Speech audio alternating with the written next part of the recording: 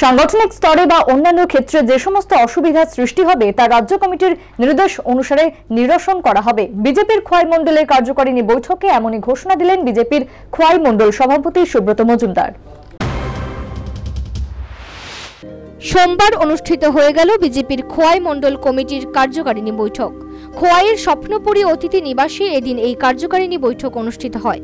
বিজেপির স্থানীয় নেতা কর্মীদের উপস্থিতিতে নিজ ভাষণে বিজেপির খোয়াই মণ্ডল সভাপতি সুব্রত মজুমদার দলীয় নেতা কর্মীদের দলের সাংগঠনিক গঠনতন্ত্র নিয়ে আলোচনা করেন।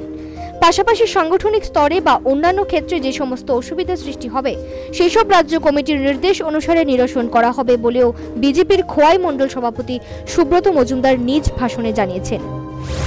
সাংগঠনিক যদি কোনো দুর্বলতা থেকে থাকে বা আমাদের যদি কোনো অসুবিধা থেকে থাকে, সেই অসুবিধাগুলিকে আমাদের রাজ্য স্তর থেকে সেগুলিকে নিরসন করার জন্য নির্দেশ আসবে।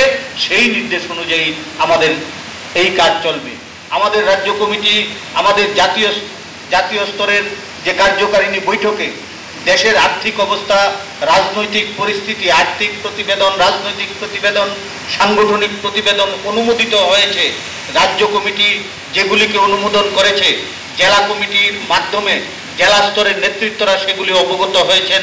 আজকে মণ্ডল কমিটির মাধ্যমে আমাদের জাতীয় স্তরে, রাজ্য স্তরে কি কি আর্থিক প্রতিবেদন, অর্থনীতিকে কীভাবে চাঙ্গা করা যায়, আমাদের রাজনৈতিক সংগঠনকে কীভাবে মজবুত করা যায়, আগামী দিনে কি কি কর্মসূচি আমাদের রাজ্য এবং কেন্দ্রীয় নেতৃত্বরা গ্রহণ করেছেন এই রকম কার্যকারিণী বৈঠকের মাধ্যমে তা আপনাদেরকে অবগত এদিনের কার্যকারিণী বৈঠকে বিজেপির খোয়াই মণ্ডল সভাপতি সুব্রত মজুমদার সহ খোয়াই জেলা প্রভারী অমিত রক্ষিত দলীয় রাজ্য কমিটির সদস্য বিশ্বজিৎ দত্ত প্রমুখ অতিথি হিসেবে উপস্থিত ছিলেন।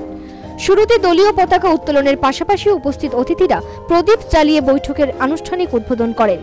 এই কার্যকারিণী বৈঠককে ঘিরে বিজেপির সংশ্লিষ্ট নেতাকর্মীদের মধ্যে উল্লেখযোগ্য সাড়া লক্ষ্য করা গেছে। Bureau report, News Vanguard.